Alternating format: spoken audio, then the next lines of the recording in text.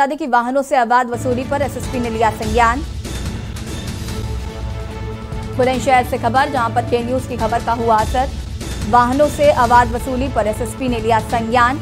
Highway पर वाहनों से अवैध वसूली कर- पर बड़ी कार्रवाई की है। एसएसपी ने आरोपी दो सिपाहियों को सस्पेंड कर दिया है और चौकी इंचार्ज को भी एसएसपी ने किया लाइन हासिल वीडियो में वाहनों से अवैध वसूली करते दिखा था सिपाही और इस खबर को के न्यूज़ ने प्रमुखता से दिखाया था। सिकंदराबाद की चेकपोस्ट का वसूली का वीडियो था।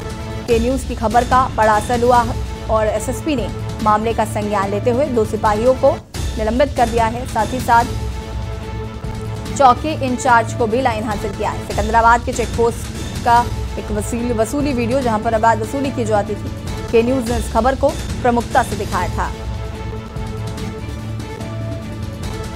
बुलंदशहर से खबर, जहाँ पर के न्यूज़ की खबर का हुआ बड़ा असर। वाहनों से अवैध वसूली पर एसएसपी ने लिया संज्ञान। के न्यूज़ ने खबर को प्रमुखता से दिखाया था, वीडियो दिखाया था, जिसमें अवैध वसूली करते हुए सिपाही नज़र आ रहे थे। हाईवे पर वाहनों से अवैध वसूली की जा रही थी। एसएसपी ने आरोपी दो सिपाहियों को सस्पेंड कर दिया है।